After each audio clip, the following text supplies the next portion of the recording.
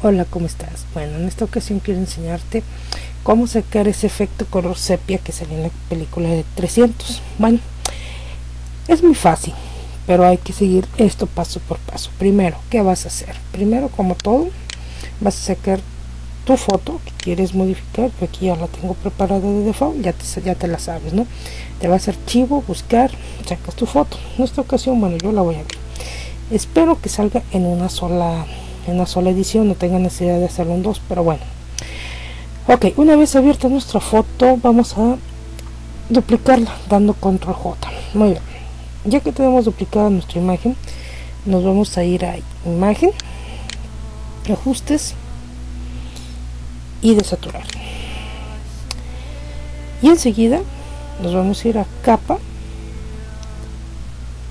Oye, oye, que es que así no me meto aquí nueva capa de ajustes iguales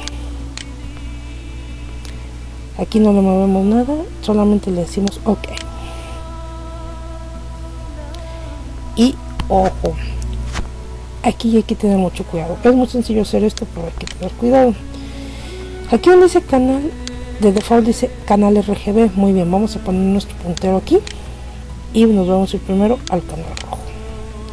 Si se fijan está así como una especie como de, rayita. Bueno, pues esa rayita la vamos a tomar más o menos a esta altura y la vamos a arrastrar. Y si se fijan se está pintando de rojo eso es bueno. Que sigue enseguida nos vamos a ir al color verde. Y vamos a hacer exactamente la misma operación no más que no tanto más o menos así. Y enseguida nos vamos a ir al color azul y también vamos a poner nuestro puntero hoy pero ahora al revés vamos a jalar hacia abajo. Más o menos a esta altura. Y si se fija nuestra imagen toma un color como sepia un color como este cosa foto vieja. Una vez hecho esto vamos ok. Y no salimos. Enseguida. Ya cuando tenemos este efecto así como de foto vieja nos vamos a ir a filtro. Ruido. Y añadir. Perdón perdón. Esto me falló muy bien. No importa no hay problema. Hay que situarnos donde se capa 1 que es en realidad la capa que estamos trabajando. Perdón sorry. Ahora si nos vamos a filtro. Ruido. Y añadir y nos va a salir esta cantidad. Aquí dice en medio dice 100% donde dice cantidad es 2.45% de distribución uniforme y monocromático. Una vez tomados estos parámetros decimos ok y salimos de ahí. Enseguida vamos a unir esto y esta capa. ¿cómo lo vamos a hacer? con el control con el botón shift apretado damos un clic sobre la, siguiente capa. Y una vez hecho esto con el botón derecho vamos a combinar y en la capa fondo le damos doble clic para desbloquearlo. Muy bien una vez hecho hecho eh, perdón hecho esto para nos volvemos a ir a curvas. Ya dice normal o sea en esta en la parte esta de aquí de en la opción fusión de capas damos clic y nos vamos a ir a multiplicar. Y si se fijan ya está tomando una tonalidad así como tipo película 300 si quieren le bajan la opacidad si no no. En este caso yo se la voy a dejar así porque es una es una escena donde hay mucho sol está muy clara. Si ustedes consideran a su foto bajarle la opacidad pues bajan la opacidad aquí. Bueno yo una vez hecho esto nos situamos en, la, en nuestra capa esta que se bueno en este caso es curvas 1 y nos vamos a ir a capa. Nos vamos a ir a nueva capa de ajustes. Y esta vez nos vamos a ir a brillo contraste perdón. no movemos nada y simplemente decimos ok. Aquí en contraste podemos subir o bajar el valor de nuestro contraste yo en esta ocasión aquí lo voy a poner más 20 20 ok muy bien. Una vez hecho esto damos ok y salimos. Y enseguida nos vamos a ir otra vez a imagen. Perdón a capa perdón capa.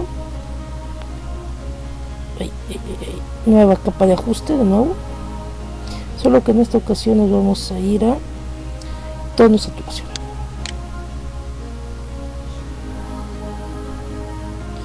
y en saturación fíjense aquí en esta parte que es muy importante pongan atención donde dice editar dice aquí dice por default dice todos. Aquí no le mueva nada yo por error le moví tantito pero no le mueva nada. Entonces vamos a ir a editar damos un clic aquí y primero nos damos clic perdón aquí y primero nos vamos a ir a tonos rojos. Y aquí donde dice saturación le subimos un 20% vamos por un 20 bueno. Hoy ponte ok. Y enseguida nos vamos a ir a editar tonos pero ahora van a ser amarillos. Y en esta ocasión la saturación la vamos a bajar.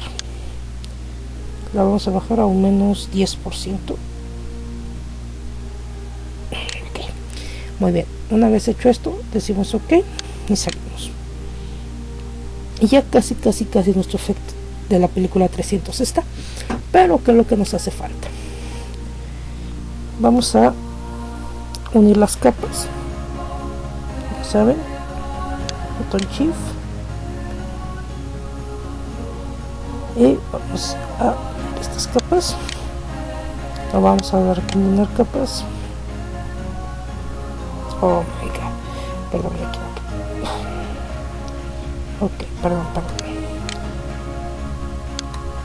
eso me faltó una verdad combinar capas y así otra vez vamos a dar control J para duplicar capas. La segunda capa la de, o sea, la de arriba nos vamos a ir a imagen ajustes desaturar. Nos vamos a ir a filtro. Y nos vamos a ir a desenfocar. Desenfoque gaussiano